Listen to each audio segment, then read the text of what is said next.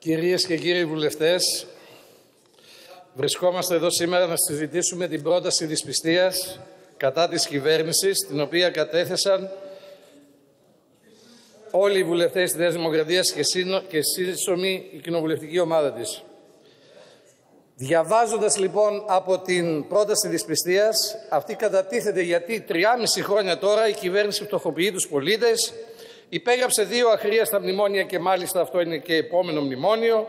Δέσμευσε τη χώρα με βαριές περικοπές συντάξεων και μισθών. Αύξησε τους φόρους, υποθήκευσε δημόσια περιουσία, ανασφάλεια παντού, με απαράδεκτες μεθοδεύσεις που προκαλεί βλάβη στη λειτουργία των θεσμών και του κράτους δικαίου. Και γιατί τώρα την καταθέτει, γιατί λέει. Η ανακοίνωση της συμφωνίας με την κυβέρνηση της Πούκουδουμού είναι η σταγόνα που ξεχυλίζει το ποτήρι της αγανάκτησης. Αν λοιπόν το δεύτερο είναι η σταγόνα, το προηγούμενο είναι το ποτήρι. Γιατί λοιπόν ενώ είχατε το δικαίωμα να καταθέσετε πρόταση μορφής κατά της κυβέρνησης για το ποτήρι δεν την καταθέσατε πιο μπροστά και την καταθέτετε για τη σταγόνα; Και θα σας πω γιατί. Γιατί είστε υποκριτές και γιατί και εσείς οι ίδιοι δεν πιστεύετε στην πρόταση μορφής την οποία κάνατε. Αφήστε που η λέξη αχρίαστα μνημόνια μας παραπέμπει στο success story του κυρίου Σαμαρά το οποίο ευτυχώς σταμάτησε το 2015 γιατί μας φόρτωνε για 20, 20 δισεκατομμύρια επιπλέον για τα επόμενα χρόνια, πράγμα που σταμάτησε η κυβέρνηση του ΣΥΡΙΖΑ το 2015. Στην ομιλία του κυρίου Μητσοτάκη λέει το εξής ο κύριος Μητσοτάκης. Το πρόβλημα των Σκοπίων δεν μπορεί να γίνει δικό μας πρόβλημα. Αλήθεια, δεν είναι πρόβλημα της χώρας μας ένας επίσημος αλυτρωτισμός σε γειτονική χώρα και όπου ενισχύονται και μπορεί να ενισχυθούν οι εθνικιστικές δυνάμεις. Δεν είναι πρόβλημα για, για τη χώρα μας το ότι 140 χώρες περίπου αναγνώρισαν τη γειτονική χώρα με τη συνταγματική της ονομασία. Δεν είναι πρόβλημα για τη χώρα μας η διείσδυση και η ενίσχυση του ρόλου τρίτων δυνάμεων στη γειτονική χώρα. Δεν είναι πρόβλημα για τη χώρα μας, γιατί αντίθετη άποψη έχει η Ιερά Σύνοδος σε σχέση με τη σχισματική εκκλησία της γείτονος χώρας. Δεν είναι πρόβλημα για τη χώρα μας πώς θα γίνει η πολιτική διεύρυνση της Ευρωπαϊκής Ένωσης. Δεν είναι πρόβλημα για τη χώρα μας η σταθερότητα, η ειρήνη, η ευημερία και η ανάπτυξη στην περιοχή. Δεν είναι πρόβλημα για τη χώρα μας η ενίσχυση του γεωπολιτικού και γεωστρατηγικού τους ρόλου. Είναι προβλήματα για τη χώρα μας. Έχετε μάθει όμως να είστε μια δύναμη αδράνειας. Μια δύναμη η οποία δεν μπορεί να καταλάβει το τι σημαίνει ενεργητική πολυδιάστατη εξωτερική πολιτική. Έτσι λοιπόν καταθέτεται πρόταση δυσπιστίας γιατί για να μην δημιουργηθούν λέει επιζήμια τετελεσμένα. Ποια είναι λοιπόν τα επιζήμια τετελεσμένα να πληροφορηθεί και ο ελληνικός λαός; Το ότι για πρώτη φορά αλλάζει μια χώρα το σύνταγμά της με γεωγραφική σύνθετη ονομασία; Έργα όμνες πραγματικά και όχι international έργα όμνες το ότι αυτό κατοχυρώνεται με συνταγματικό τρόπο, το ότι είναι παρελθόν ο αλυτρωτισμός, το ότι οι ίδιοι παραδέχονται το ότι η όρη Μακεδονία, Μακεδονικός Μακεδόνας αναφέρεται σε διαφορετικό ιστορικό πλαίσιο και πολιτιστική κληρονομιά. Το ότι με αυτούς τους όρους για μας αναφέρονται όχι μόνο η περιοχή, ο πληθυσμός της βόρειας περιοχής μας, αλλά και τα χαρακτηριστικά τους. Ο ελληνικός πολιτισμός, η ιστορία, η κουλτούρα και η κληρονομιά αυτής της περιοχής από την αρχαιότητα ως σήμερα. Είναι επιζήμιο τελεσμένο το ότι για αυτούς, με τους όρους αυτούς εννοούνται η επικράτεια, η γλώσσα και ο πληθυσμός τους, με τη δική τους ιστορία διαφορετικά από αυτή που αναφέρονται σε εμάς. Είναι επιζήμιο τελεσμένο το ότι η επίσημη γλώσσα τους αναγνωρίζουν ότι ανήκει στην ομάδα των νότιων σλαβικών γλωσσών και ότι η επίσημη γλώσσα και τα άλλα χαρακτηριστικά τους δεν έχουν σχέση με τον αρχαίο ελληνικό πολιτισμό, την ιστορία, την κουλτούρα και την κληρονομιά της βόρειας περιοχής του πρώτου μέρους. Αυτά είναι τα επιζήμια τετελεσμένα. Να μας απαντήσετε. Ακόμα και τώρα δεν έχετε προτάσεις. Μιλάει, μίλησε ο κύριος Κουμουτσάκος για πυρηνικό όπλο και αναφέρθηκε στο ένα κομμάτι μόνο, το τι έγινε το Βουκουρέστι το 18. Προκαλώ τον κύριο Κουμουτσάκο και όποιον άλλο θέλει. Στις 14 Μαρτίου του 2008 η χώρα είχε θέση για σύνδετη γεωγραφική ονομασία ή όχι με τα πιο επίσημα χείλη των πολιτικών εκείνης της εποχής. Ναι ή όχι. Θα μας απαντήσετε.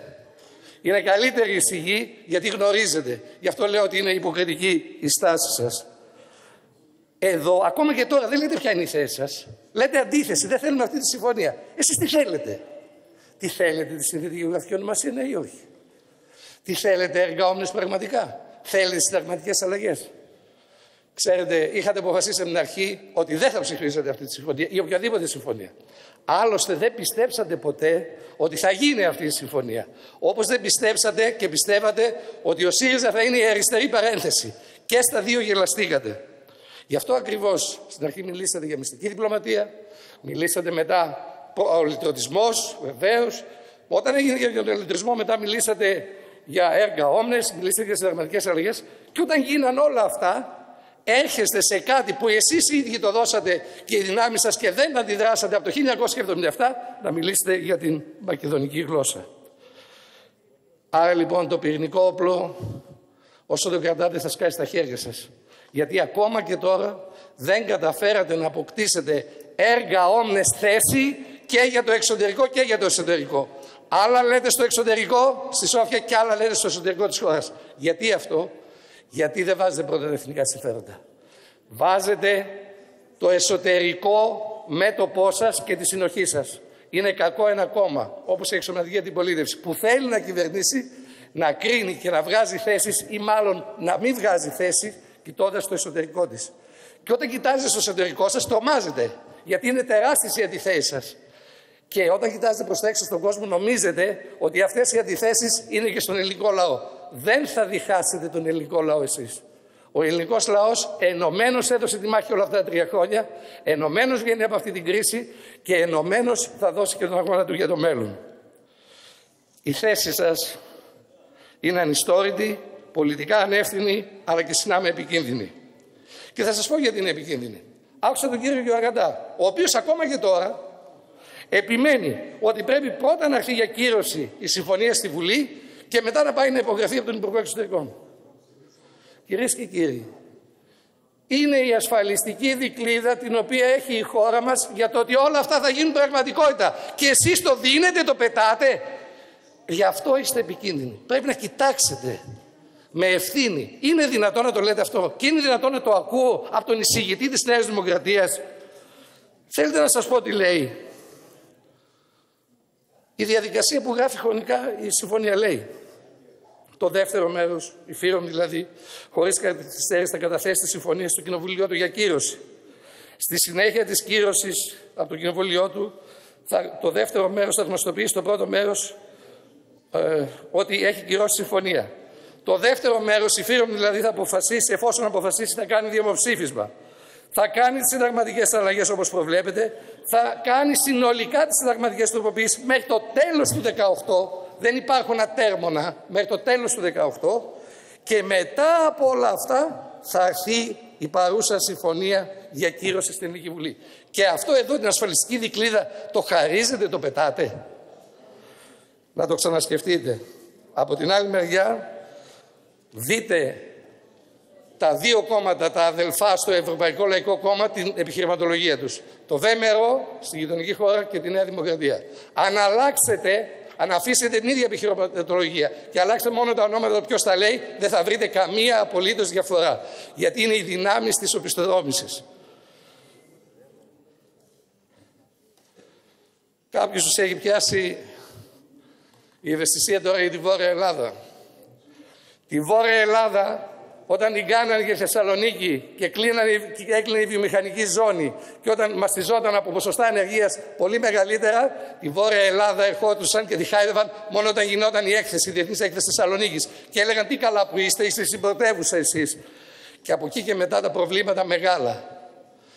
Αυτή η κυβέρνηση έδειξε ενδιαφέρον για τη Βόρεια Ελλάδα και τα προβλήματά της. Ο Πρωθυπουργός πολύ συχνά βρίσκεται στη Θεσσαλονίκη. Προβλήματα όπως ο ΑΣΤ, το μετρό, η ελεύθερη χώρη, η λειτουργία του Πρωθυπουργού κάθε φορά στη Θεσσαλονίκη η επίλυση προβλημάτων είναι το ενδιαφέρον που έχουμε. Ακόμα και για το Κιλκή που αναφέρει ο κ. Γεωργαντάς, για την περιοχή του. Δέκα χρόνια κάνουν να μεταφέρουν το τμήμα του ΤΕΗ στο καινούριο του κτίριο. Και ήρθαμε εμείς και το κάναμε. Και να μην έχουν ανησυχία, το ΤΕΗ θα ενισχυθεί το Κιλκή. Έτσι λοιπόν είχαν συνηθίσει να έρχονται πάνω και να χτυπάνε τις πλάτες και τα προβλήματα να τρέχονται. Η ιστορία θα μας κρίνει και θα μας γράψει για ό,τι κάνατε και ό,τι κάνετε σε βάρος της χώρας λειτουργώντας σαν ένα ιστορικό βαρύδι. Και αυτό γιατί, γιατί υπερασπίζεστε τους λίγους και το παλιό. Υπερασπιζόμαστε τους πολλούς και φέρνουμε το νέο. Μπορούμε να κοιτάξουμε στα μάτια τους Θεσσαλονικείς και όλο τον ελληνικό λαό και να το πούμε ότι η συμφωνία αυτή λύνει με τον καλύτερο δυνατό τρόπο υπηρετεί στο έπακρο την εθνική γραμμή και διασφαλίζει ρητά και επίσημα πλέον τις θέσεις της χώρας μας. Λύνουμε με τον καλύτερο δυνατό ένα τρόπο ένα πρόβλημα που ταλαιπωρούσε τη χώρα και που θα δώσει το γεωπολιτικό ρόλο και στρατηγικό ρόλο στη χώρα μας στην ευρύτερη περιοχή.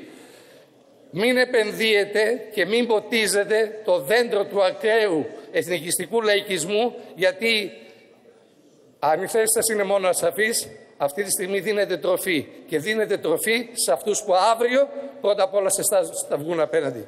Σας ευχαριστώ πολύ. Ευχαριστούμε τον κύριο Υπουργό. Το λόγο θα δώσουμε στον κύριο Βαρεμένο, ο οποίος είναι πρώτος ε, εκ του καταλόγου. Ε, θα παρακαλούσα, πρώτον θα παρακαλούσα πολύ να τηρείτε το 7 λεπτό. Λέω, θα παρακαλούσα να τηρείτε το 7 λεπτό, τους ώστε να μιλήσουν αυτοί που μπορούν να μιλήσουν με βάση το 7 λεπτό έως τις 1 και μισή όπως είπαμε. Και το δεύτερο, Όποιος συνάδελφος βουλευτής εκφωνεί το όνομά του και δεν είναι στην αίθουσα, να ξέρετε ότι θα διαγράφεται αυτομάτως και δεν θα έχει δικαίωμα αύριο, για παράδειγμα, ή το αιτήματος, να το πω έτσι, εφόσον δεν εκφωνήθηκε, να μιλήσει την ε, επόμενη μέρα. Λοιπόν, κύριε Βαρεμένε, έχετε το λόγο.